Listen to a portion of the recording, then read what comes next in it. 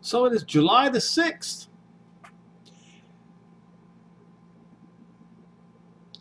Prime Minister Benjamin Netanyahu promised that he would begin the process of applying sovereignty to parts of Judea and Samaria on July the 1st. And as I pointed out in several videos before, they're never even prepared to begin the process at all. Why is that? Why is that? I believe I know the answer, folks. Um, now, when you look in some of these, let's see, this is New York Times, not a good, uh, uh, not a real good publication. But it says mixed signals on Israeli annexation reflect split among officials. What officials? U.S. and Israeli officials are divided on whether so-called annexation means to get Palestinians to the table, or whether the peace plan is a means to get annexation. Did you get that?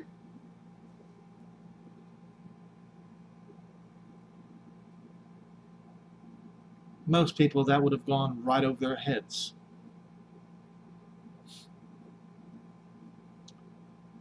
See, what's happening here is President Trump, just like all the presidents before him, or many of the presidents before him, is promising Israel's enemies a Palestinian state inside the Holy Land. And apparently, what is happening is is just exactly what it says here. Israeli and U.S. officials are divided. Divided on whether annexation means to get, a, to get Palestinians to the table or whether a, the peace plan is a means to get annexation. Let's um, let's say this in layman's terms. It appears that Israel would like to use the peace plan to get annexation, and the U.S. officials want to use the annexation or the threat thereof as they say, annexation, which is applying sovereignty, not annexation, to get the Palestinians to the table.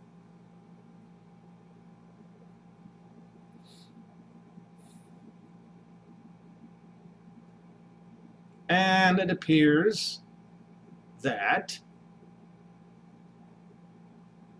this whole thing has soured once again because it appears that the United States side is trying to use the threat of applying sovereignty to get the Palestinians to the table.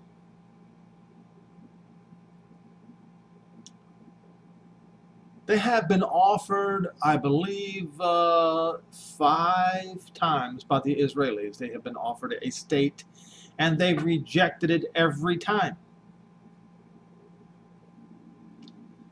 But it's offering the Palestinians a state inside the Holy Land is not for Israel to give.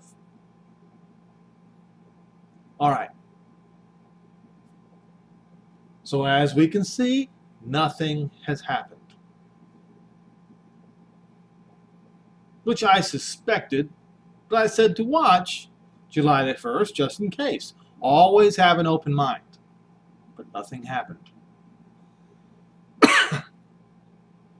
And you see, it appears now that nothing will happen that is unless.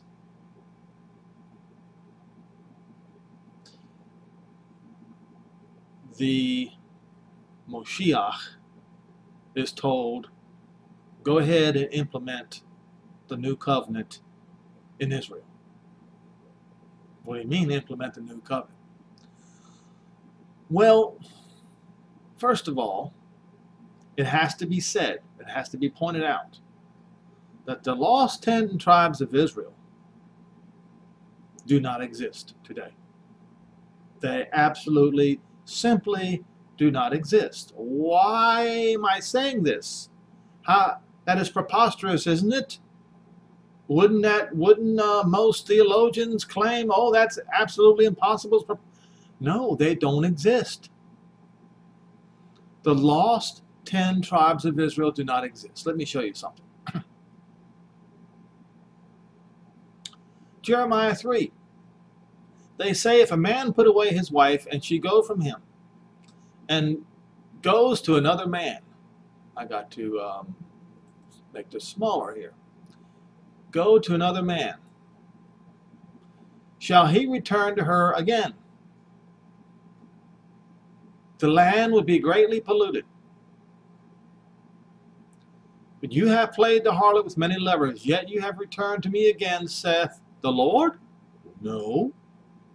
His name does not change. Jehovah. Look at all the high places and see where you have and see where you violated the road and the ways that you have set as the Arabian in the wilderness, as the Arabian in the desert. And you have polluted the land with your whoredoms and with your wickedness. For this reason, the showers, the rains have been withheld, and there has been no latter rain.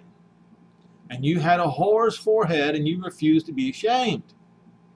Will you not proclaim unto me, unto the Father, Ab, the guide of your youth, the aluf of your youth? Will he keep his anger forever?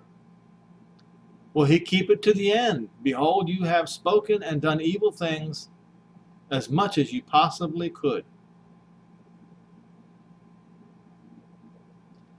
And Jehovah also unto me in the days of Josiah king, have you seen that which backsliding Israel has done? She's gone up to every high hill and under ever, every evergreen tree, just like the Gentiles do today, and they think that Jehovah is going to listen to them. They won't even call his name.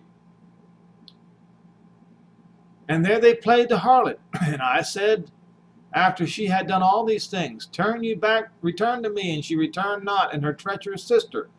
Judah saw it, and saw when for all the causes whereby backsliding Israel committed adultery, I had put her away and gave her a bill of divorcement.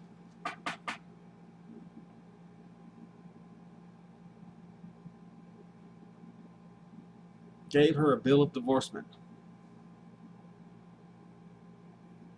Now, Israel means champion with Elohim if he gave the lost ten tribes of Israel a bill of divorcement, they are no longer championed with Elohim, therefore they are no longer Israel. Now, think about that for a minute. So at that point, at the point of him kicking them out of the land, the 12 tribes of Israel no longer existed.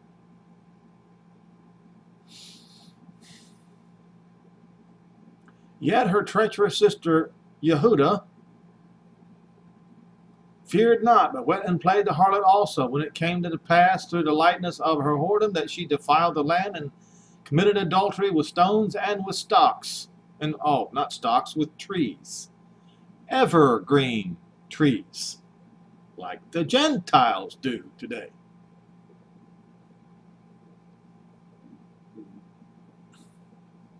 And yet, for all this her treachery, sister Judah, Yehuda, had not turned back to me with her whole heart, but faked it.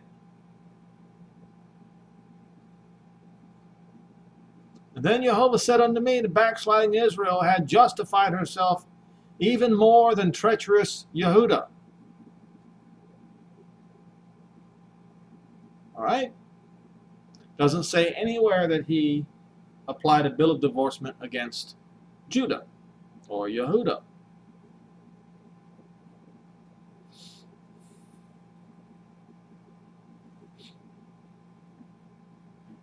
So go and proclaim these. Oh, so that's it, isn't it? That's the reason why the church replaces Israel, is it not? Isn't that what they? Isn't that what your preacher says? Hmm.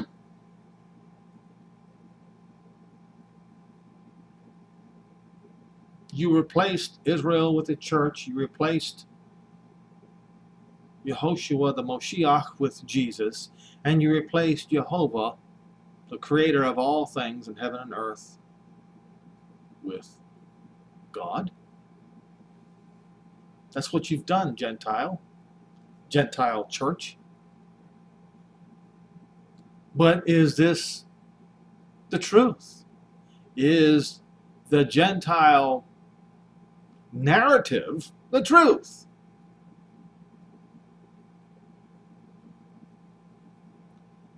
So he says, Go and proclaim these words to the north and say, Return, O backsliding Israel. Does it say, Return, O backsliding church, says Jehovah? No, it does not. It says, Israel. And I will not cause my anger to fall upon you.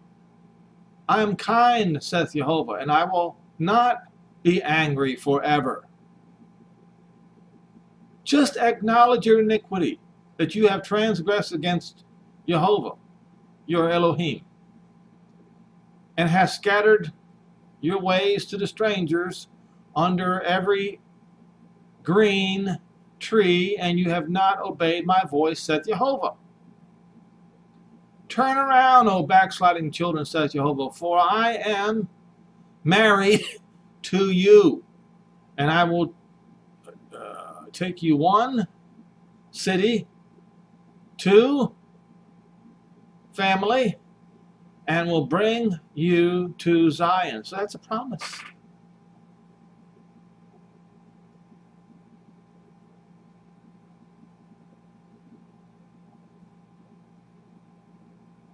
Two of a clan. Mishpacha. Sorry about my poor Hebrew skills. And I will give you a pasture. Not pastors. I will give you pastures according to my heart, and there you will feed with knowledge and understanding, and it shall come to pass when you be multiplied and increased in the land in those days, saith Jehovah, they will say no more, Behold the ark of the covenant of Jehovah. Neither shall that even come to mind. Why? Because that's the ark of the old covenant. This is about the new covenant.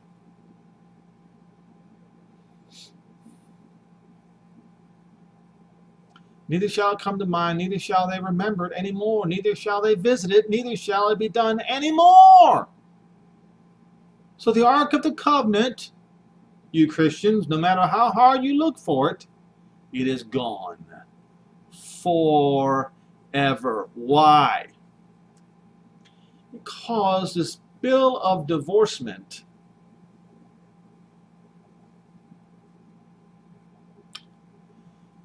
under Jewish law, under the Torah, caused the lost ten tribes of Israel to be lost forever.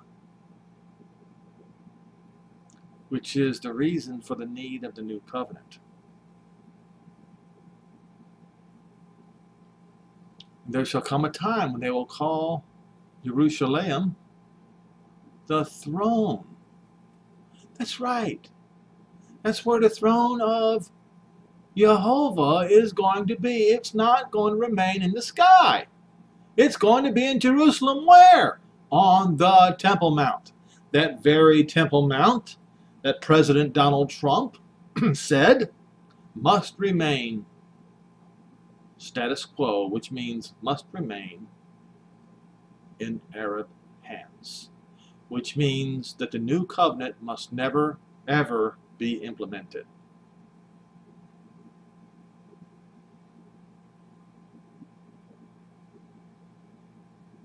You see what's going on here, folks? anything to stop the new covenant from being implemented. And the Goy will be gathered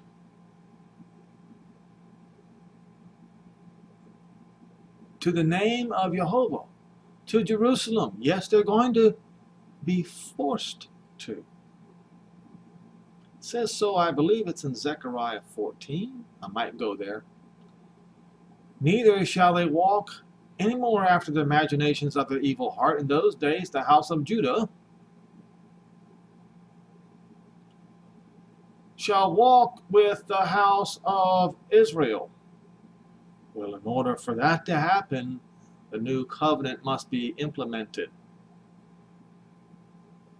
And they shall come together, united. You see, folks, when the new covenant for Israel is to be implemented,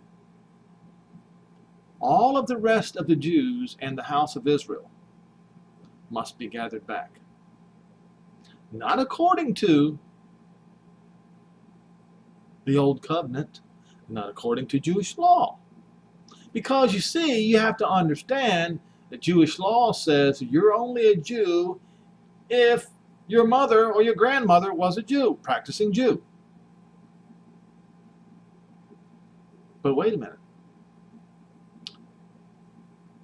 The house of Israel and the house of Judah I should say, the house of the leader of the house of Israel, which is Ephraim, and the leader of the house of Judah, which is Judah, had different mothers. What made them brothers? Their father, Israel, made them brothers. You see. So if Jewish law were to remain,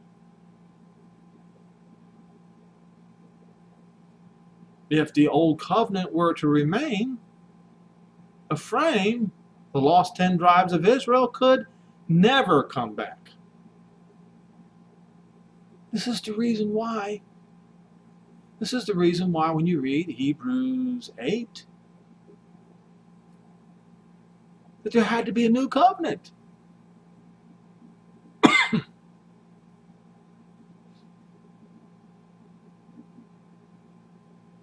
The new covenant is for the house of Israel and the house of Judah. Will they be back together again as one nation?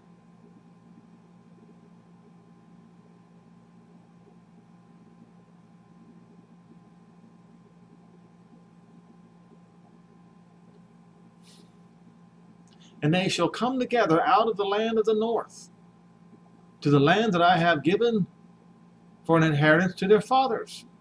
That must occur. But if you if you leave it up to the world leaders today, it will never happen. Never. To say, how shall I put set my son, and give you a pleasant land, a good, goodly heritage of the host of, of, of the army of the nations, of the Gentiles. And I said, You shall call me Ab, not Jesus, Ab. In English, it's Father. So who's speaking here? The Father. You shall call me Ab, or the Father, and you shall not turn away from me. Surely as a wife treacherously departed from her husband, so you have dealt treacherously with me, O house of Israel, saith Jehovah. A voice was heard among the high, upon the high places, weeping and supplication of the children of Israel. For they have perverted their way, and they have forgotten Jehovah their Elohim. Return, you backsliding Israel, and I will heal your backslidings. And they will respond. And they will say, We come to you for you, our Jehovah, our Elohim.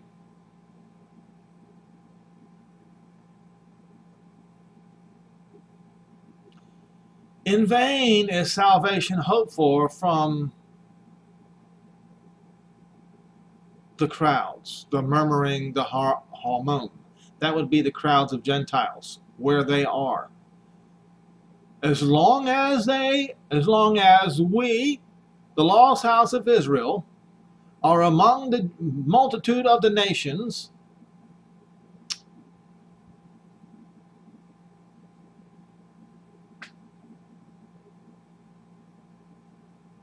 falsehood. That's falsehood is what's there in those locations. Truly in Jehovah, Elohim is salvation of the church, Israel.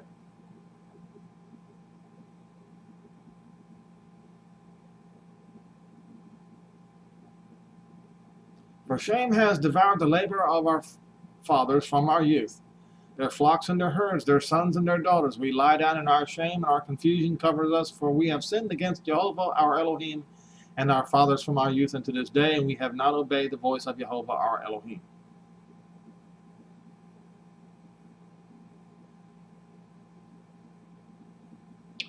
Hosea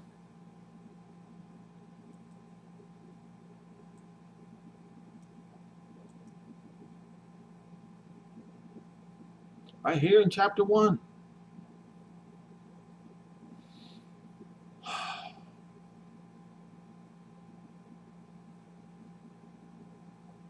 This is concerning what? This is concerning the house of Israel. Verse 6 And she conceived again and bare a daughter. Say unto him, Call her name Lohur Lo Ruhamah, for I will no longer have mercy upon the house of Israel, saith Jehovah, uh, uh, but I will utterly take them away. I will have mercy upon the house of Judah. In other words, the house of Judah would not be considered Gentiles. But at that point, at this point, in the battle of Jezreel, Israel would cease to exist. The lost ten tribes.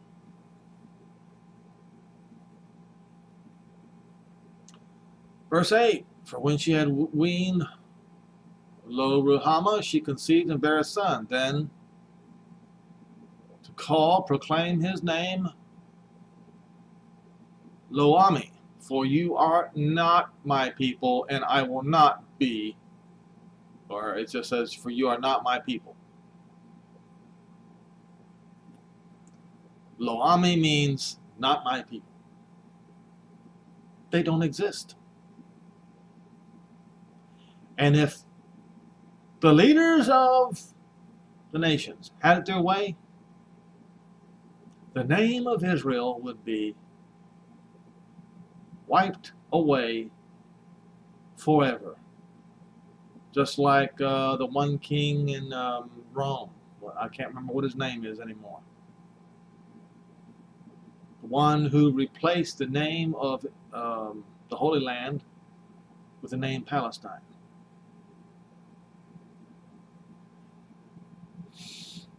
But then it says, Yet the number of the children of Israel shall be as the sand of the sea, which cannot be measured nor numbered, and it shall come to pass that in the very same place where it was said unto them, You are not my people, there it shall be said unto them, You are the sons of the living Ale. Then shall the children of Judah and the church and the children of Israel will be gathered together, and they will appoint themselves one head, and they shall come up out of the land of the Gentiles, because a great victory will be had in the day of Jezreel.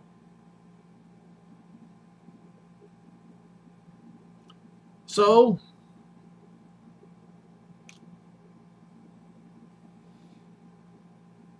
we'll look at this.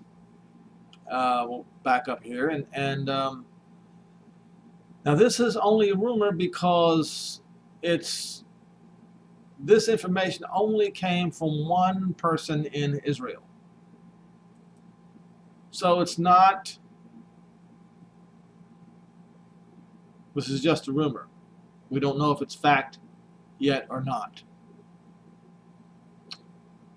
The former Speaker of Knesset, Abraham Burg, said U.S. President Donald Trump has halted the Israeli plans to apply sovereignty to parts of uh, Judea and Samaria, Anadolu reports. In an interview with Italian Daily, Burg said Trump stopped the implementation of the annexation plan because he doesn't have time to help Israeli Prime Minister Benjamin Netanyahu in implementing the applying of sovereignty of Judea and Samaria and the Jordan Valley.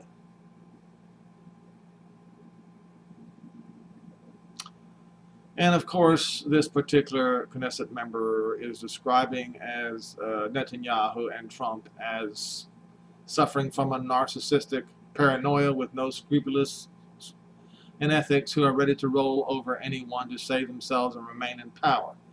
Now, like I said, is this true? Don't know. One thing we know that is true it was stopped. It most certainly was.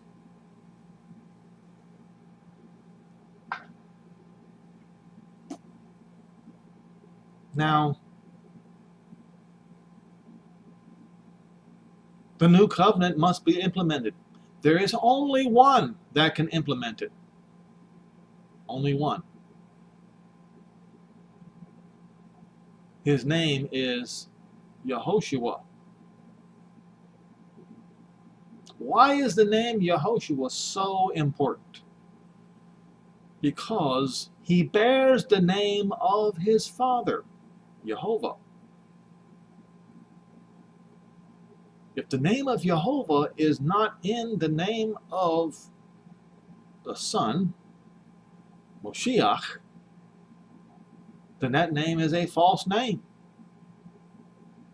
You can't make Jesus sound like Yehoshua. It's not possible because it's not the same name. You can't make God sound like Jehovah because it's not the same name. You see, those false names that I referred to are the very names which are applicable to the whoring that was going on under every evergreen tree and all the high places that was spoken of in, I believe it was Isaiah 50.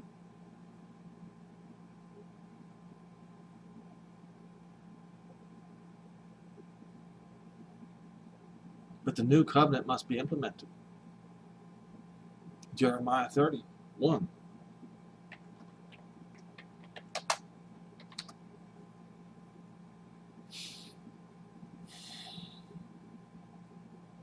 Behold, the days come, saith Jehovah, that I will make a new covenant with who? He mentions the house of Israel first. Why? Because they were the ones he put away. They were the ones that he said, not my people. And with the house of Judah. It doesn't say the church here. not according to the covenant that I made with their fathers in the day when I took them by the hand to bring them out of the land of Egypt, which my covenant they broke. If he didn't make a new covenant with the house of Israel and house of Judah, Israel would be forever rejected, would never exist anymore. Period. It's going to take a miracle to bring the house of Israel back. Although I was a husband to him, says Jehovah, but this shall be the covenant when I, that I will make with the house of Israel. The house of Israel. After those days. After what days? After the days of Israel's rejection is over. After when he implements the new covenant. Says Jehovah, I will put my Torah in their inward parts and write it in their hearts, and will be their Elohim, and they shall be my people. And they shall no more teach every man his neighbor and every man his brother, saying, Know Jehovah, for they all shall know me from the least of them to the greatest of them, saith Jehovah. For I will forgive their iniquity and remember their sins no more. Why is that not church doctrine? Because the church believes they replaced Israel. But if Israel is replaced, there can be no new covenant. Catch 22 you have put yourselves in, O church.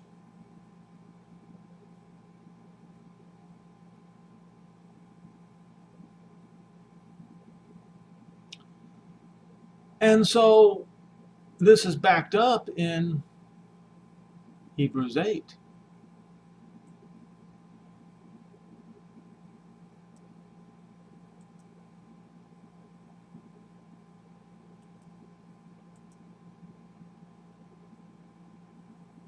Now,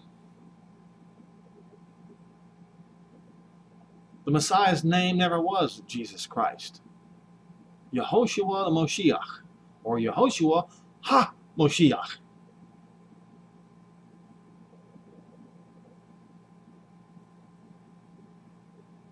Okay. Verse 6 But now he obtained a more excellent ministry how much also he is the mediator of a better covenant. And who is this better covenant for?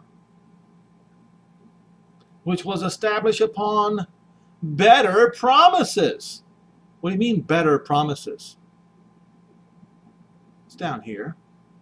For if that first covenant had been faultless, then there should no place have been sought for the second. But you see, the Gentile church is blocking the new covenant. For finding fault with him, he said, Behold, the days come, saith Jehovah, that I will make a new covenant with the house of Israel and with the house of Judah. He's repeating word for word exactly what it says in Jeremiah 31. Not according to the covenant that I made with their fathers in the day when I took them by the hand to lead them out of the land of Egypt, because they continued not in my covenant, or they broke his covenant, and I regarded them not, saith Jehovah. This is the covenant that I will make with the house of Israel after those days, saith Jehovah. I will put my Torah in their mind and write them in their heart, and I will be due to them, Elohim, they shall be my people. And they shall no more teach every man his neighbor and every man his brother, saying, Know Jehovah, for they shall all know me from the least of them to the greatest. What is the greater promise? What is the better promise? The promise that the Gentile church has utterly rejected. And as you can see, by the failure of the Trump peace plan of the century, and the reason why it failed is it because it refuses to acknowledge the new covenant. For I will be merciful to their unrighteousness, and their sins and their iniquities will I remember no more. This is the better promise that Paul was talking about in verse 6.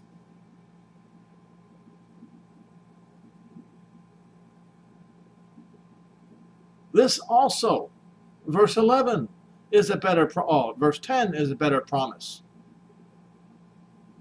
I will put my Torah in their mind and write it in their hearts, and I will be their Elohim, and they shall be to me a people. There will be no ifs, ands, or buts. You see, the old covenant was if, if, if, if, if. If you will do this, I will do that. If you will do this, I will do that. That's not how it's going to be anymore. You see, the Gentiles, they're still stuck on if Israel repents. There are no ifs in the new covenant. None. You can't find any. I dare you. Who among you out there can find an if in the new covenant? So, what is the Gentiles' part in all of this? If if the new covenant was for the house of Israel and the house of Judah. Paul points it out and makes it very clear. In Romans 11.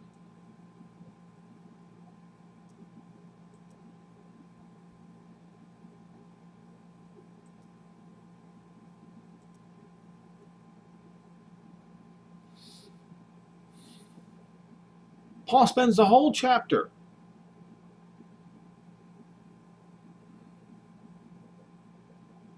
warning the Romans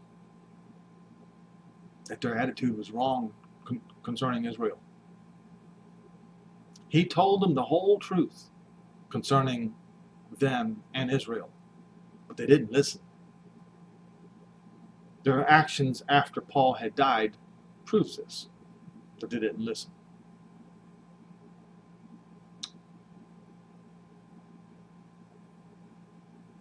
Verse 11, I say, had they stumbled that they should fall, Jehovah forbid. But because of their temporary fall, salvation is come to the Gentiles for to provoke them to jealousy. Now, if the fall of them being the riches of the Gentile world, and if the diminishing of them being the riches of the Gentiles, how much more shall their fullness be? They don't want to talk about that. What do you mean their fullness? What is Israel's fullness? Getting all the land back as promised in Yehoshua 1 verses 1 through 4 so that all the whole house of Israel and the house of Judah can be back together again as one nation. That's the fullness of Israel. That is what the nations have blocked. They're faking it. The Gentiles are faking it. Donald Trump is faking it.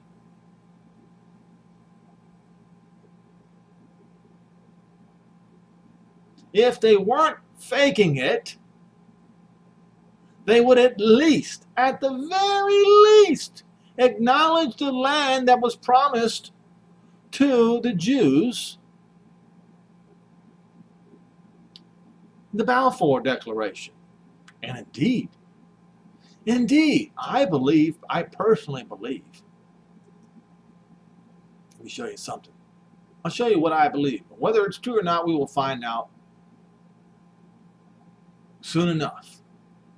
You see, I believe that all of this land right here, the Balfour Declaration, is indeed for the Jews. That would be the house of Judah.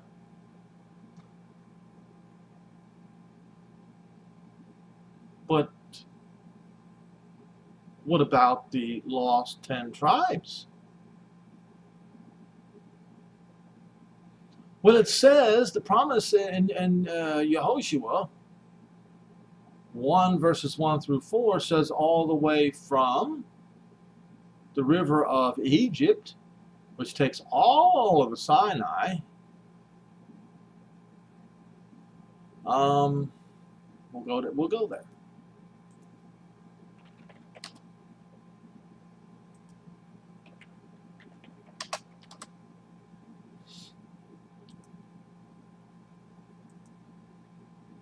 I, I, I believe that's that is correct. That that land that we just saw is only for the Jews.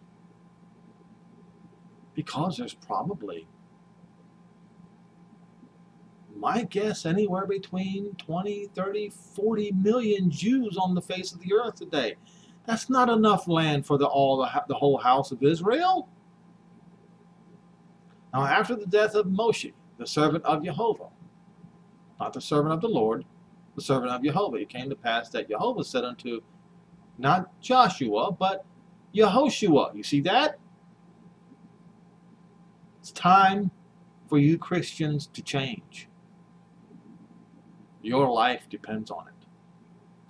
The son of Nun, Moses' minister, said, Moses, my servant, is dead. Therefore arise and go over this Jordan, you and all this people unto the land which I do give to them, even to the children of Israel. Now, why in the world would he name the Messiah, the Moshiach, Yehoshua? Because he's going to do what the first Yehoshua was supposed to do. Listen very carefully, folks. You see, Jehovah's words do not change. His promises do not change. Every place that the sole of your foot shall tread upon, that I have given to you, just like I told Moses. From the wilderness of Lebanon, even unto the great river, the river Euphrates. So from Lebanon to the river Euphrates, and all the land of the Hittites, and unto the great sea toward the going down of the sun toward the west shall be your coast. hmm?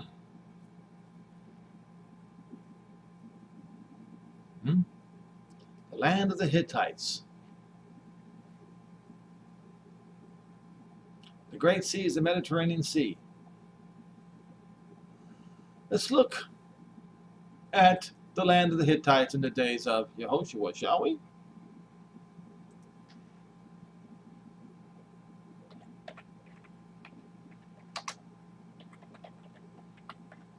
So the Mediterranean Sea shall be the border. See this?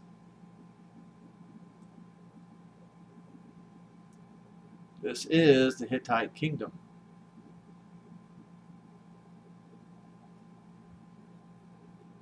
And where is the river Euphrates? Right here.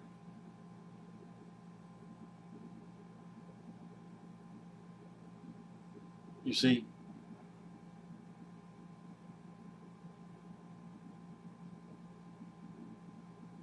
So, who is plotting to invade Israel?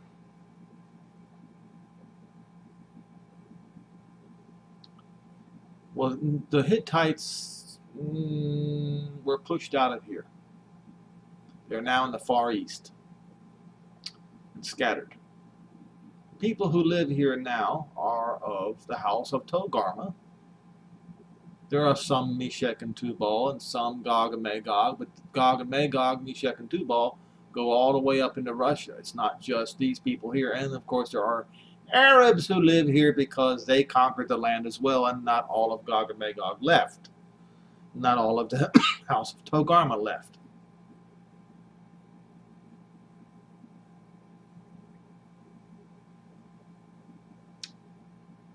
So, if you were to ask the world leaders today, or if the, do you think that the world leaders today would simply seek the word of Jehovah and tell and say, explain to us the terms of the new covenant and we will abide by it. We will draw out the land for the whole house of Israel and the whole house of Judah and everybody who lives in those lands must leave, and all of Israel must come back because that land belongs to Israel. Do you think that they would do it? No. Christian or no Christian, they will not do it. They won't. So you see, folks, why? I absolutely will not call myself a Christian. I will not call myself a Muslim. I'm a Zionist. That's what I am. I'm a real Zionist, not a fake Zionist. Remember, folks, what Moses said in uh, the Numbers of the Nations, in Deuteronomy oh, the sons of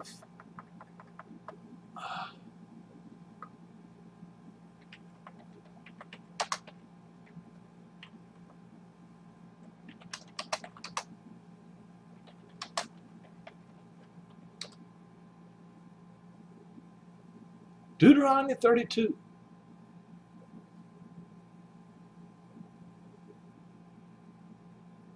Now, folks, you got to understand. Deuteronomy, let's go to Deuteronomy 30 first. Right? So we can see success, succession here. All right? We're going to go and we're going to uh, go to Strong's Concordance. We're going to find succession. It shall come to pass, and all these things that come upon you, the blessing and the curse which I have set before you, and you will call them to mind among all the Goi, Goi where Jehovah your Elohim has driven you. And you will return unto Jehovah your Elohim, and you shall, oh, it's not if you will obey his voice. No, you shall obey his. There is no ifs in the new covenant according to all I have commanded you this day, you and your children with all of your heart, with all of your soul. Jehovah, your Elohim, will return your captivity, and he will have compassion upon you, and he will return and gather you from all the Goi, all the folk where Jehovah had scattered you. And if any of you be driven out into the uttermost parts of the horizon, that's what it should read, from there will Jehovah your Elohim fetch you and Jehovah your Elohim will bring you back into the land which your fathers possessed, and you will possess it. And he will do you good and multiply you above your fathers. Now, you Christians, wouldn't you agree with me that the circumcision of the heart is a part of the new covenant? Absolutely, you would. He said to the house of Israel, and Jehovah your Elohim will circumcise your heart and the heart of your seed to love Jehovah your Elohim with all of your heart, with all of your soul, that you may live. So they will have no choice in the matter. There's no ifs here. There's no ifs with a new covenant. And then Jehovah, your Elohim, will put all these curses upon your enemies and upon those that hate you, those who persecuted you.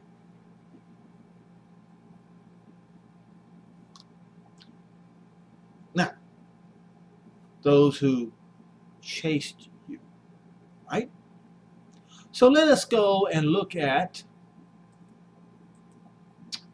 Cyril's 15th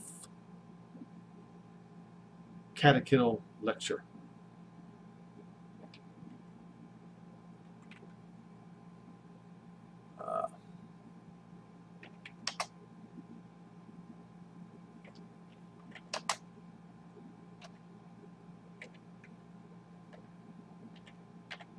Come on.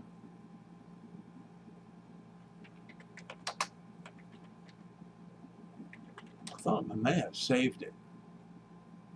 Well, it's right here anyway. All right. Let us see if I can find it.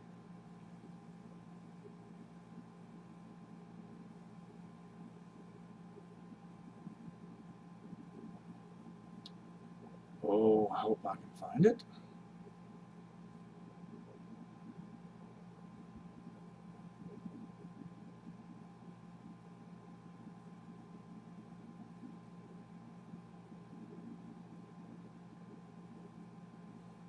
Might not be able to find it. But he talked about chasing people, unbelievers, with the cross as a weapon.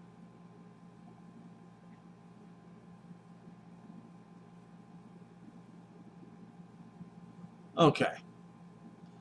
Look where he says right here in the 15th verse here. But as for when formerly he was to take man's nature, and as he says, God, which is not and God was expected to be born of a virgin?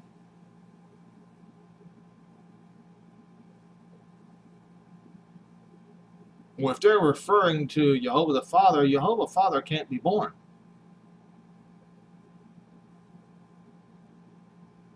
The devil created prejudice against this by craftily preparing among idol worshippers fables of false gods begetting and begotten of women, that the falsehood having come first, the truth, as he supposed, might be disbelieved, so that since the, as he puts it, true Christ is to come a second time, the adversary, taking occasion by expectation of the simple, and especially of them of the circumcision. Notice how he points the finger at the Jew and brings in a certain man who is a magician and most expert in sorceries and enchantments of beguiling craftiness, who shall seize for himself the power of the Roman Empire. See, this is where all you Christians get your lies from. Cyril of Jerusalem, the Catholic, and shall falsely style himself by this name of Christ, deceiving the Jews, are looking for the anointed and seducing those of the Gentiles by his magical illusions. So this is how the Catholics have enchanted, have seduced, have beguiled, have tricked all Christianity into believing that Israel's Messiah is their Antichrist, you see.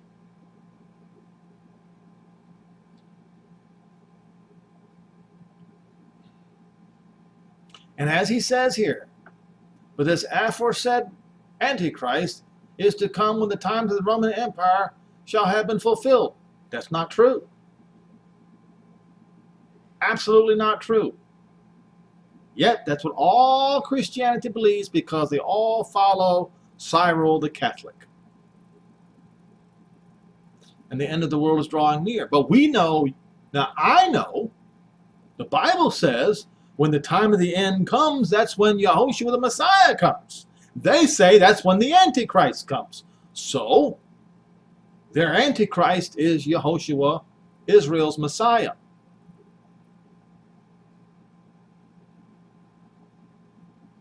These ten kings of the Romans rose up even before the first as they say, Pope.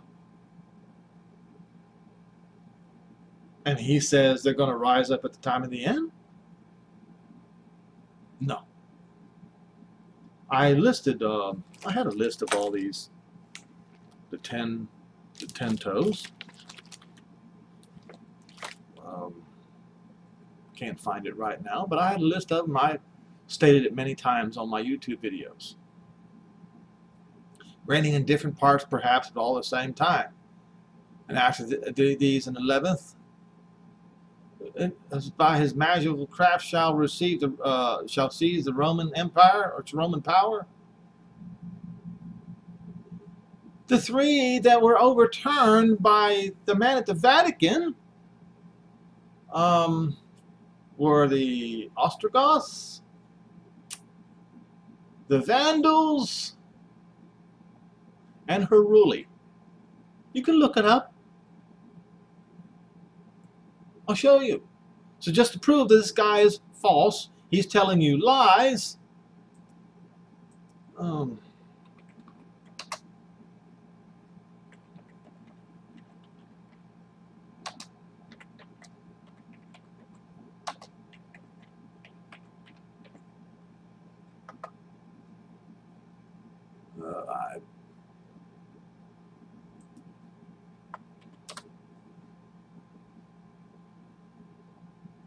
Yeah, three of those were the Heruli, the Vandals, and the Ostrogoths. Through, the, through war and diplomacy, the papacy was clung to the Nicene Creed, creed, endeavored to destroy these heretical nations. It was three of the first that were uprooted and destroyed. This was in 493. 1500 years ago.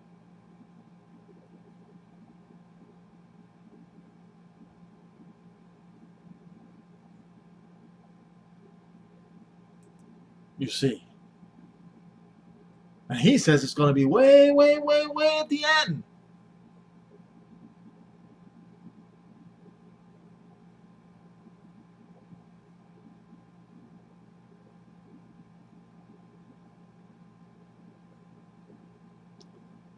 I still can't find the part where he was talking about chasing people around with the cross.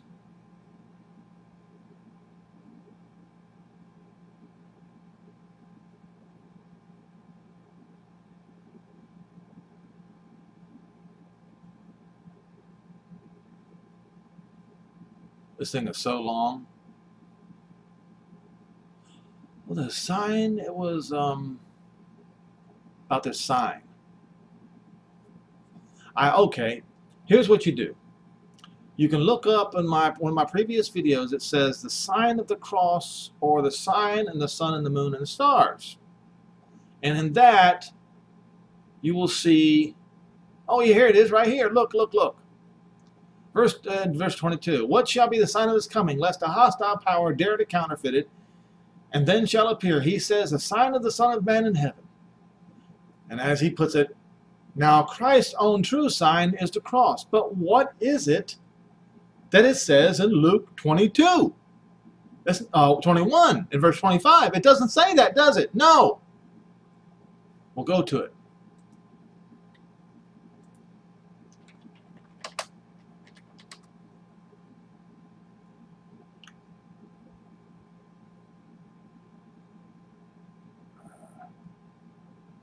Verse 25. Do you see cross anywhere in here? There shall be signs in the sun and the moon and in the stars and upon the earth. Sunoke or suneko, which means distress, anguish, anxiety, and it comes from the root word suneko, which means to be seized on every side with and confined with illness. What do we have today? But the nations being confined to illness. I know this has happened before, but this is supposed to happen at the time of the end. The sign is going to be in the sun and the moon and in the stars. You won't see the sign of the cross in the sun.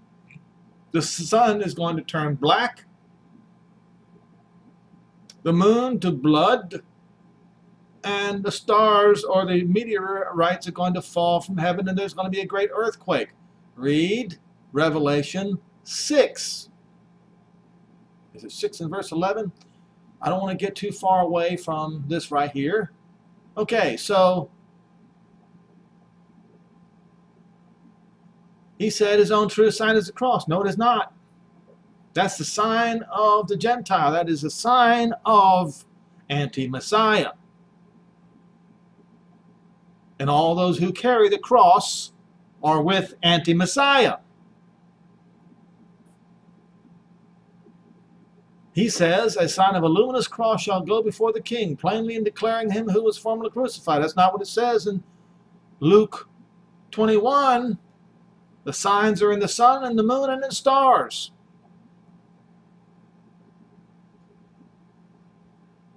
That the Jews who before him pierced and plotted against him, when they see it, will mourn tribe by tribe, saying, This is he who was buffeted, this is he whose face they spat on, this is he who was bound with chains, this is he of old whom they crucified and set it not. But don't they realize that it is written? That he was handed over to the Gentiles to be cruelly mocked and scourged and crucified. It was the Gentiles who did it. Oh, the twisting of words by Cyril the Catholic. Whither they will say, Shall we free from the face of your wrath? But the angel host shall encompass him so that they shall not be able to flee anywhere. And the sign of the cross shall be a terror to his foes, aka the circumcised, as he would say, but a joy to his friends who have believed in him, preached him, or suffered for his sake. Who then is the happy man who shall be found a friend of Christ, that King so great and glorious, attended by his angel guards and the partner of his Father's throne, who would not despise his own service, for that his elect may not be confused with his foes? For he shall send forth his angels with a great trumpet, and they shall gather together his elect from the four winds. Now, okay. A sign of the cross shall be a terror to his foes. What are they going to do? What, what, what, what's. Really? No. The sign and the sun and the moon and the stars are going to be a terror upon the Gentiles. Right here. There shall be a sign in the sun and the moon and in the stars and upon the earth Sunoke or Suneko on the what? Israel? Gentiles. I guess Cyril didn't get that memo.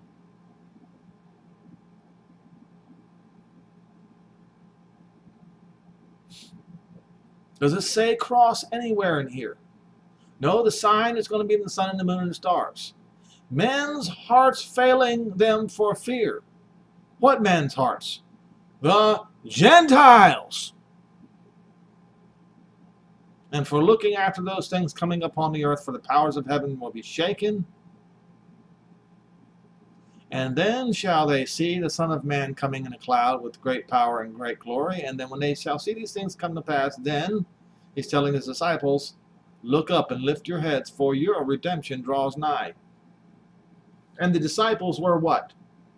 Circumcised.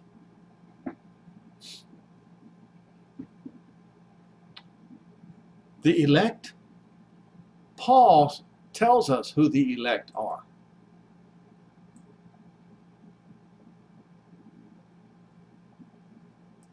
Romans, back to Romans 11. Oh, we're already here.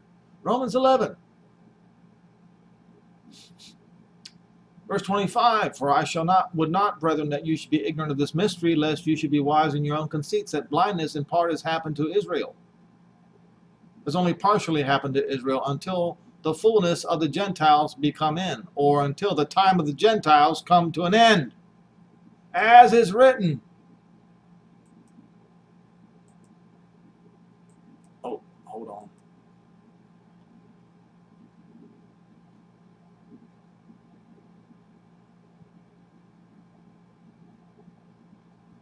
until the time of the Gentiles be made complete. Until the time of the Gentiles is over, which means the Gentiles have a limited time. Uh, finite time, which is Satan having but a finite time. You look it up. If you look it up, the word is finite. All right? So let's go back to Romans 11. Read it and weep, Gentile. Why would not, brethren, that you should be ignorant of this mystery, lest you should be wise in your own conceits, that blindness in part has happened to Israel, until the fullness of the Gentiles be coming in. So all Israel.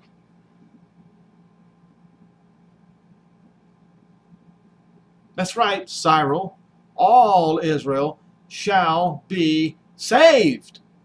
Saved, saved, saved.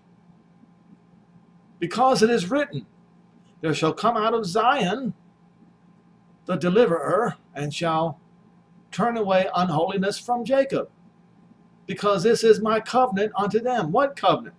When I will take away their sins and remember their iniquities no more. That would be the new covenant. Concerning the gospel, they might be enemies for your sakes, O Roman, but concerning the election, uh-oh, Cyril, you got it wrong. They are the beloved for the patriarch's sakes, because the gifts and the calling of Jehovah cannot be changed, cannot be repented of. Checkmate. There's only one way to the new covenant, folks. And that is the one who is going to make the time of the Gentiles come to an end.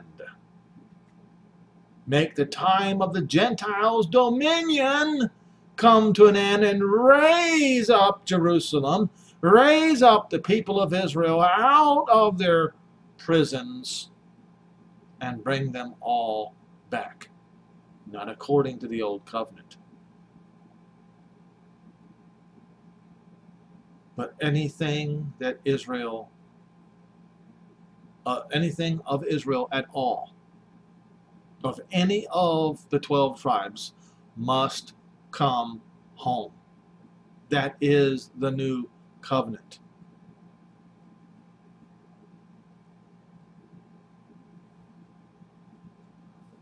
Let me show you something else.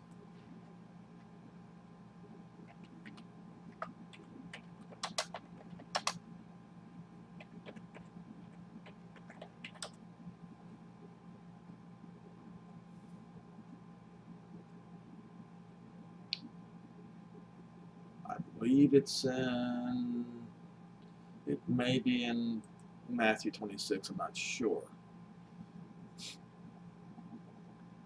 Let's Strong's Concordance. Verse 20.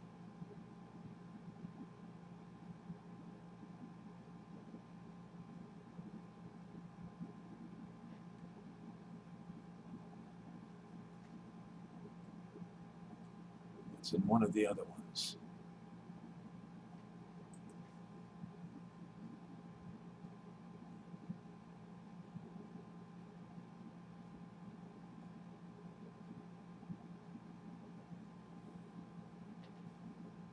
Let's see here.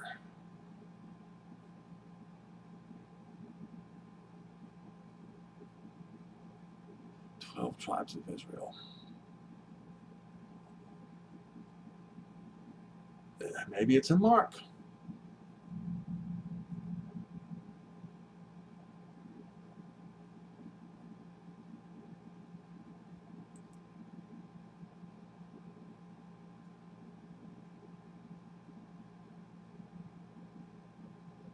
All right.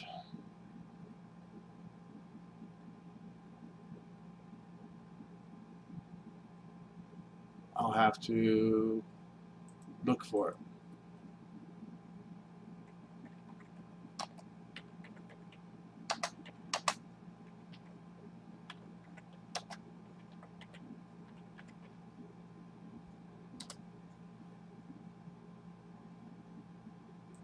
Judge the 12 tribes of Israel. Hold on. Pardon my inability to type, folks. It is and uh, it is in both Luke 20 and it's in verse 30 here. All right, 20 and verse 30. 22 and verse 30.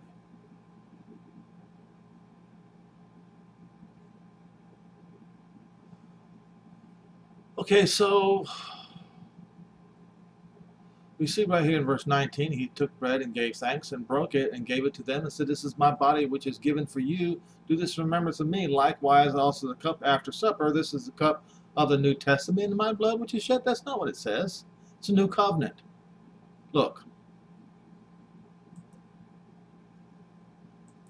You see, I've gone over this before. The word let's see, diatheke, it says testament, will, and covenant. But when you look up the word testament in English, definition, what do you see? Just says a person's will, especially the part relating to personal property. Do you see, and, and number two, it says something that serves as a sign or evidence of a specified fact, of or quality. But diatheke has a better meaning. Okay? Even the Greek is better than English, and he was speaking to them in Hebrew. Most definitely was a covenant. See, um, where was I? Right here. Diatheke, testament, will, and covenant. The usage is a, a covenant between two parties. No, not New Testament covenant. The new covenant. This is the blood of the new covenant in my blood, which is shed for you. But if it was shed for them, the 12 apostles, um, then he talks about the one who betrayed him. Now, verse 30.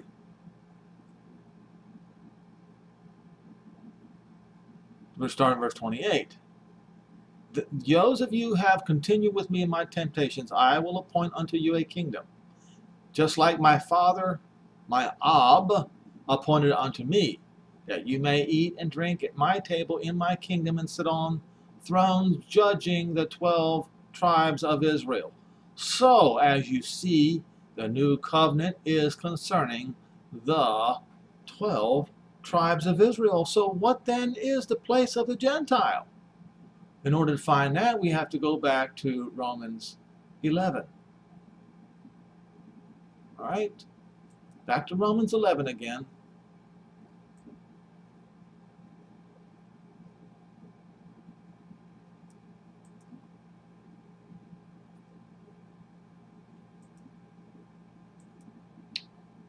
Romans 11.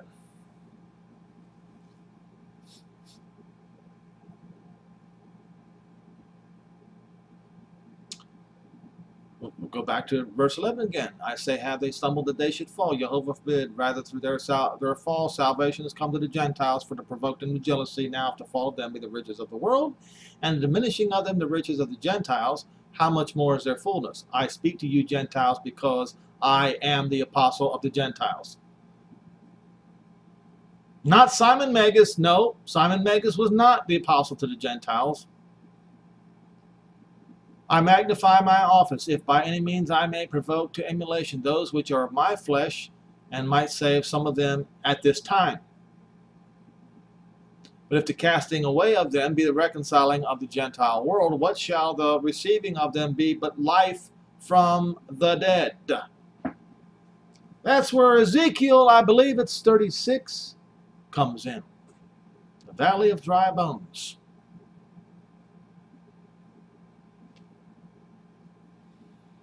Because if the fruit, first fruit is holy, the lump is also holy. That would be if the Messiah is holy, so are all 12 tribes of Israel. And if the root is holy, so are all 12 branches.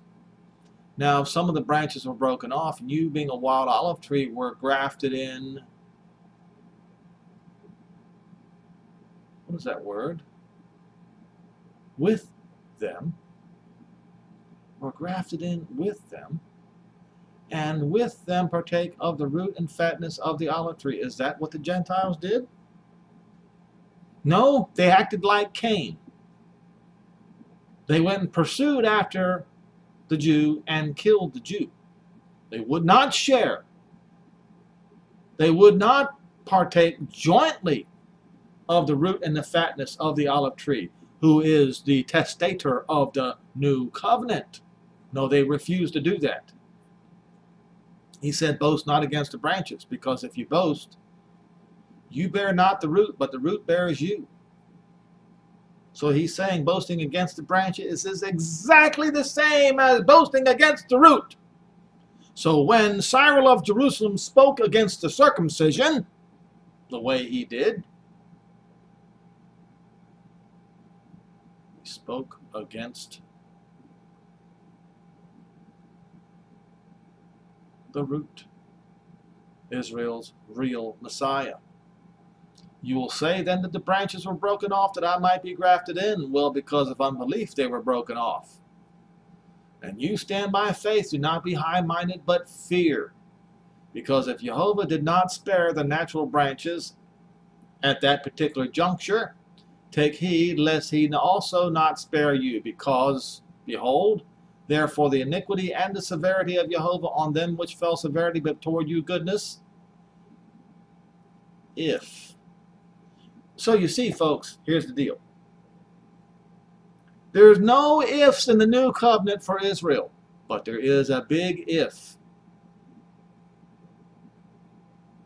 for the Gentiles.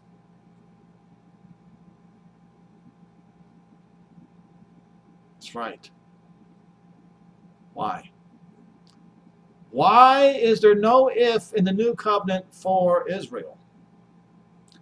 Because he made a promise to Abraham, Isaac, and Jacob, and he's going to fulfill it. He never made a promise to Japheth and Ham, or even Shem, concerning them being his people. Only to Abraham, Isaac, and Jacob, or Abraham, Yitzhak, and Yaakov.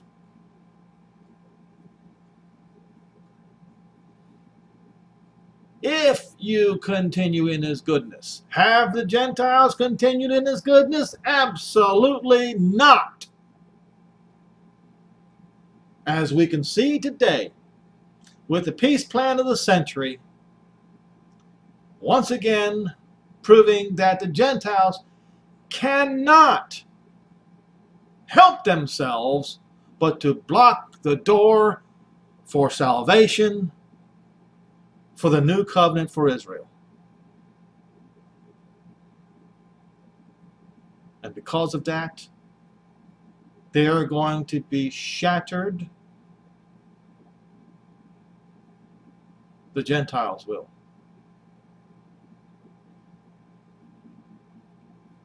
Like dried clay. Otherwise, you will also be cut off, and they also. Not if they abide. It does not see. It's en may is not the same as this word. Right here. That's en. En means if in Greek, but en may does not mean if. Let's see here. Where is it?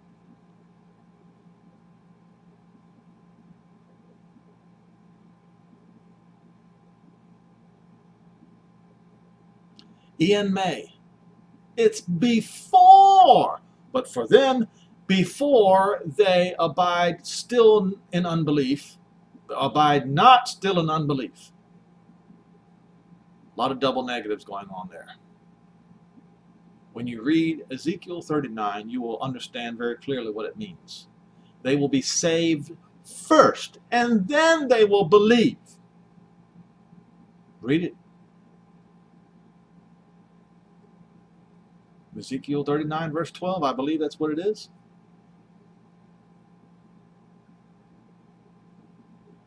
Before before they abide in belief. When it says before they abide not still in unbelief, that's a double negative. So you have to turn it around and it's before they abide in belief. Before they believe, they will be grafted back in. Because Jehovah is able to graft them in again.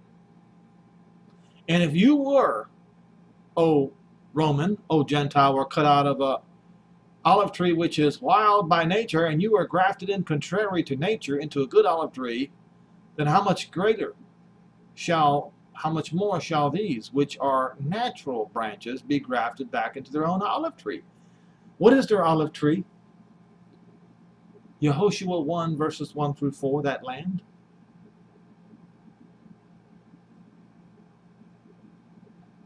But wait a minute, you will say, well, the Messiah is the olive tree. That land belongs to him.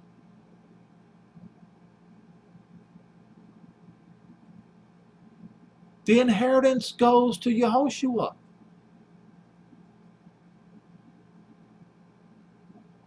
So the land is him and he is the land. Just like the people of Israel is him. And he is the people of Israel. That's the reason why you Gentile may not boast against the branches, because if you do, you are boasting against the root. You see? And all Israel shall be saved. It's not if. it's not if. No ifs, ands, or buts in the new covenant, folks. In the new covenant for Israel.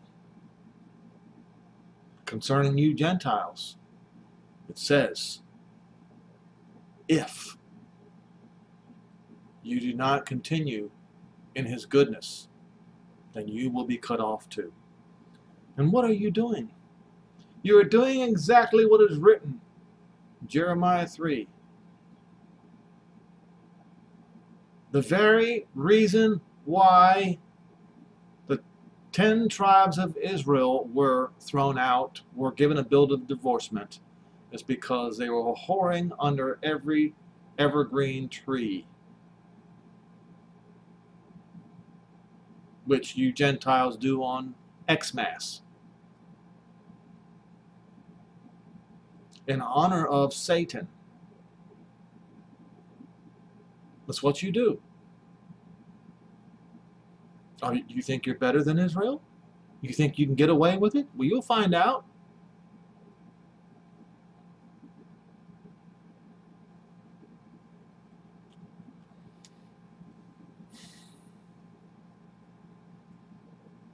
No, Donald Trump is not the testator of the new covenant.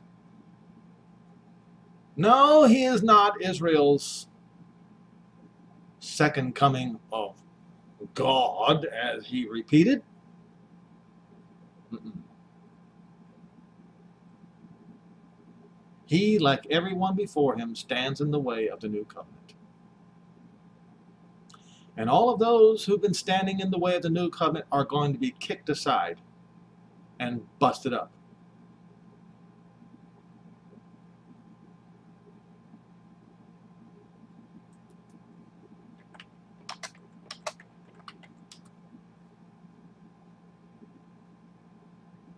Psalm 2, verse 9. You will break them with a rod of iron, and you will dash them to pieces like pottery.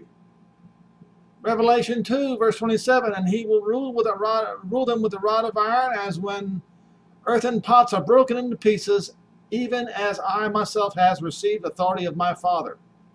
Revelation 2 and 12 and verse 5. She gave birth to a male child who is to rule all the Gentiles with a rod of iron.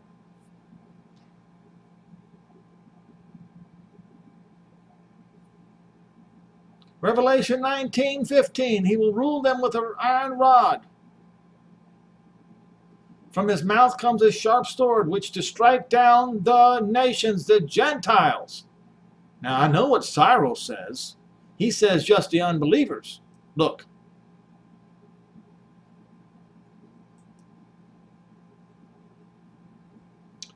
Out of his mouth goes forth a sharp sword, that which he will should smite the Gentiles, right here, Gentiles,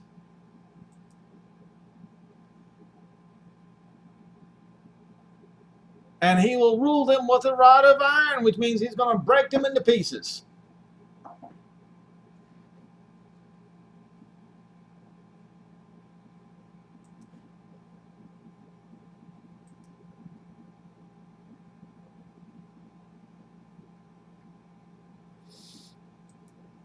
So where did where did this originally come from? It originally came from Psalm 2.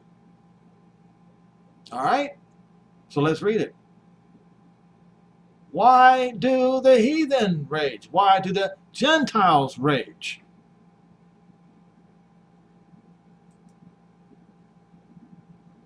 When Yehoshua comes and the people imagine a vain thing, the kings of the earth set themselves in array, and the rulers are taking counsel against Jehovah and against his anointed one, Yehoshua. They will say, Let us break their bands asunder and cast away their cords from us.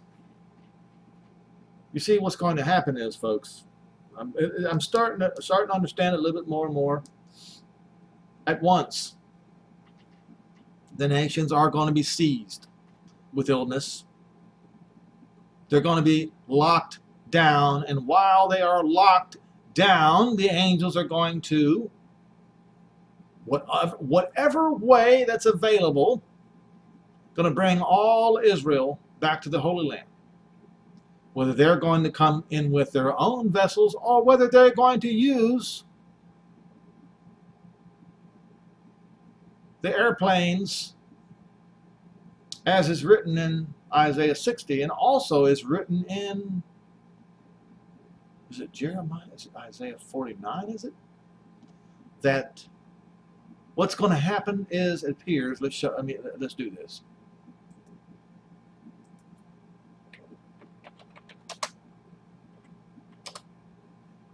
Ah. I did the, the wrong thing here Bible Hub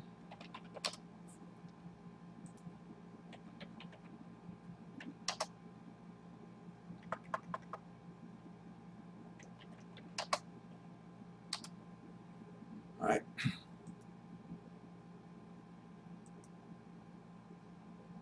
I think it's in 49.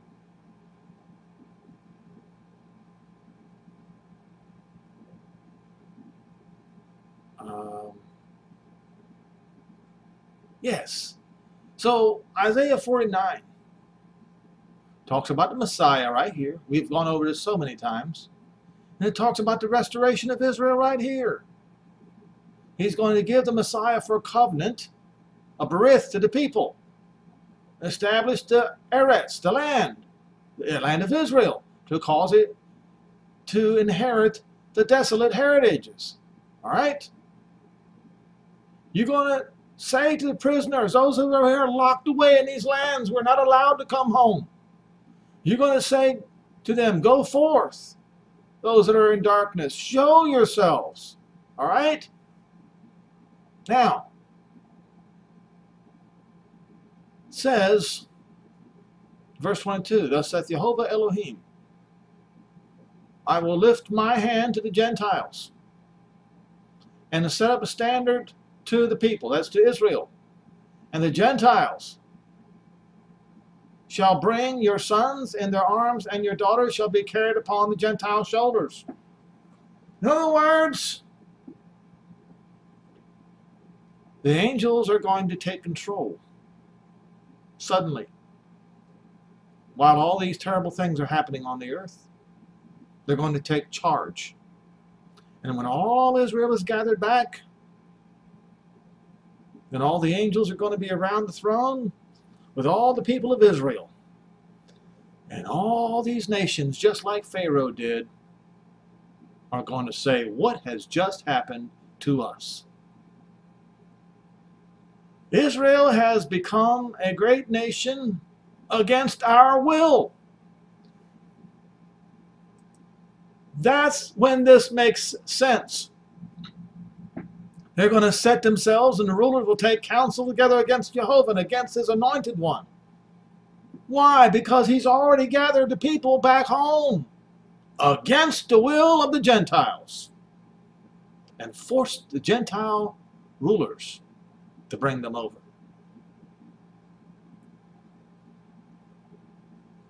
They say, let us break the bands asunder and cast away the cord from us. So the Messiah had them under lockdown. They couldn't do anything except bring the people of Israel back home. Then Jehovah will speak to them in his wrath and vex them in sore, disple- uh, in sore displeasure. He's going to say to them, I set my king upon my holy hill of Zion. Who do you think you are? I will decree. Jehovah has said unto me, You are my son, this day have I begotten you. Ask me, and I will give to you the goey for property and the uttermost parts of the earth for your possession. And what are you going to do with the goey? You shall break them with a rod of iron, and you shall dash them into pieces like a potter's vessel. Be wise now, therefore, O you kings. Be instructed, you judges of the earth. Serve Jehovah, not the Lord, with fear and rejoice with trembling. You better kiss the Son lest he be angry and you perish.